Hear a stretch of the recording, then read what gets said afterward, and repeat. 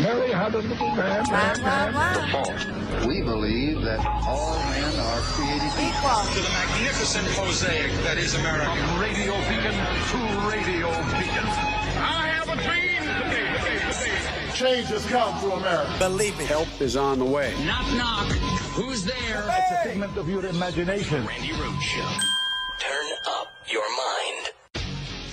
Justice must be done. But I caution this while you feel that rage, don't be consumed by it. After 9 11, we were enraged in the United States.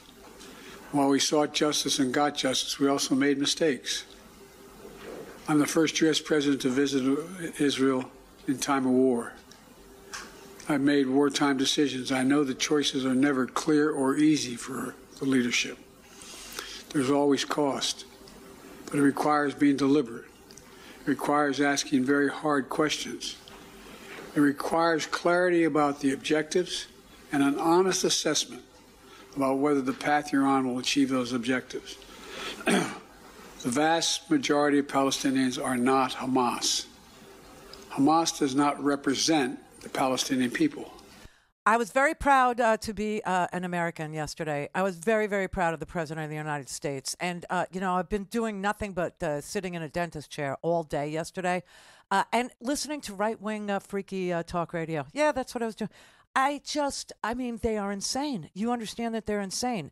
These, these people who, you know, are willing to say when Jews will not replace us is the chant du jour, these are the people who will say, um, you know, there were good people on both sides of, of the thing. Uh, you know, when Elders of Zion, you know, a, uh, uh, an anti Jewish conspiracy theory is uh, propounded or perpetuated by the right wing, uh, or, you know, like uh, horrific anti Semitic crap is being thrown on the lawns of people in little baggies with rocks that make them not blow away. So you're sure to get up in the morning and see the hatred, see the swastika, see the, you know, intimidation and the threat on your freaking front lawn. They say nothing, okay? Uh, but the conspiracy crowd, you know, the people who believe in George Soros and he's, you know, Jewish space lasers. Oh, yeah. They're all pro Israel now. Well, welcome on in. It's really sick. It's really twisted. It's like whatever, whatever, um, you know, happens in the world, they're on the other side of it. No, no matter what. It's just, it's, it's very sick. I mean, these are people that walked around screaming, "Jews will not replace us," uh, uh, to the point where I just uh, yell back, "Yes, we will," you know, to infuriate them. I mean, what are we, like 1% of the world's population? Oh, please, move along. But the idea that the President of the United States is trying to tell you exactly what I'm trying to tell you, what people of goodwill in this country, to the, I mean, it's like 70, 80% of us get this, okay? 70, 80% of America get this. They know Hamas is a terrorist organization. They also now know that the 2.2 million people who live in Gaza are not Hamas. That of those people, about 20,000 are Hamas. And every time we get numbers of uh, dead people there, you have to stop for a brief moment and ask yourself, how many of those are Hamas? Because they're not telling you that. No, they're not. Uh, the, the media is being uh, really disingenuous and ugly. This whole hospital thing, remember the other day? Uh, yesterday, I apologize, I was out. You know, I was in the dentist chair all day for those of you who are loyal clients. Uh, for those of you who are just catching on to the uh, fabulousness that is me, um, I had a massive amount of dental work. I still have a lot to go, a lot to go. But, uh, you know, we're doing it, spacing it out, like maybe taking a day, a month, and doing the dental work. Just saying. But uh, so I apologize. But when, when that hospital thing, when the bombing happened the day before, I knew Israel would not have been the culprit. Israel does not bomb hospitals. Even crazy Benjamin Netanyahu, who you should always think of as Donald J. Trump. They are the same. They are narcissists. They are uber right wing maniacs. Okay, both of them. A lot of the problems that Israel has with the denigration of their democracy, with the, uh, you know, abject, uh, you know, just lash out and, and, and, and bomb things okay, is because they have a right wing lunatic prime minister who's been their right wing lunatic prime minister for what, 20 years? Yeah, it's a problem. It's a huge problem. But the idea that that that that, that uh, you know they're taking information from Hamas, from Hamas. You know when you hear um, reports, I just heard one just now. Uh, where they say the Palestinian Health Authority is reporting X. The Palestinian Health Authority is Hamas because Hamas is the government of Gaza. So, bad government, people, bad government. And you know what? We have it too. Look what's going on in our freaking House of Representatives.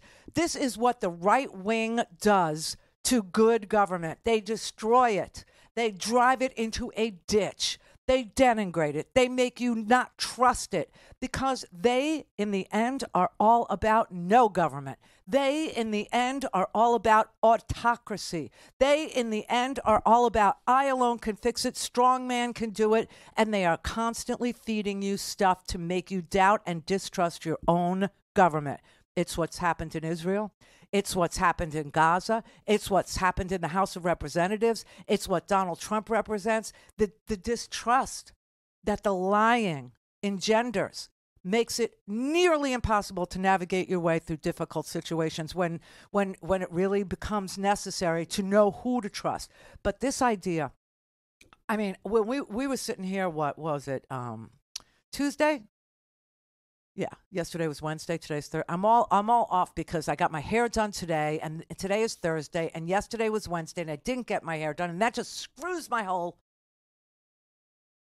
understanding of the week, screws it to the wall. Okay, so Tuesday we were sitting here, and I was listening to. Uh, I didn't want to name anybody, and I still won't, but I was listening to people say Israel just bombed the hospital, and I'm like, oh my God, that is coming straight from Hamas. And I was telling you, it do- it doesn't seem like a thing. It couldn't. Po- and it wasn't. It was unreal. It wasn't true. It was false. It was reported by Hamas. It's a terrorist organization. It also made no sense on this level. The president of the United States was on his way to Israel, and he had several meetings planned with several Arab leaders in the neighborhood. He was meeting with uh, King Abdullah of Jordan. He was meeting with uh, Al Sisi of, of Egypt. Now, he's a strong man, just so you know, but he was going to meet with all of the different players. Lebanon, he was going to meet everybody who would meet with him so that he could discuss getting aid into Gaza for ordinary Palestinians who are being tortured by their own government, who are being used by their own government as human shields, who are being sacrificed uh, by errant missiles, errant rockets that are uh, being uh, launched by terrorist groups. In this case, it was Islamic Jihad, Palestinian Islamic Jihad. It was one of their rockets. It, mis- it misfired, and that's what I was saying. This, this, I looked at videotape of it live on the air while I was actually sitting here. And I said, that doesn't look right. That looks like an errant missile that zigzagged and hit the ground and, uh, you know, uh, blew up in a parking lot. And that is what happened. But Hamas wanted the Arab street to lose its mind. They want to uh, engender so much hatred in the region for Israel, defending itself against what was a massive, massive terrorist attack a massive terrorist attack. Over a thousand people killed, kidnapping 200 people, grandmas and, and babies and, and, and parents. And by the way, the GoPros, you know, this really bothered me. There's a caller, uh, you you know who you are. I don't remember your name. I'm sorry, but you called me and you were livid about. I I couldn't even tell like what your argument was, but you was you, you started with me by saying that well, even the United States military uh, does GoPros. You know, they they put them on their helmets. Yeah, but they don't stream the killing to the Facebook page of the parent of the child, okay? And they don't stream to the Facebook page of the, the, the grandparent of the child that they're killing or the grandparent of the baby. And that is what they did. That is what they did. So, anyway, there, there's no, uh, uh, there's no sym- sym- symmetry in this. There's no symmetry in this. One is a terrorist organization, and the other is a nation defending itself from a terrorist organization. But when the president went there yesterday and he said to them exactly what I've been saying don't make decisions when you're angry. Don't just start bombing crap, uh, you know, willy nilly. Don't the siege thing. That is something I can't abide by. Okay, I can't, I can't say that you have a right to do what the Russians did to Ukraine cut off electricity, cut off heat, cut off food, cut off wheat. Okay, you, I, I, I, I was never good with that. I will never be good with that. That is just that's a war crime. I'm sorry. And the guy asked me, so if you find, uh, uh, you know, if that if, if that's happening, is that a war crime? I said, absolutely, it is. Absolutely. And if they bomb the hospital, that's a war crime. Absolutely. You got to get clear. Don't have time to listen to a live show? Want to hear more on your schedule? Go to randirhodes.com and buy a stinking podcast.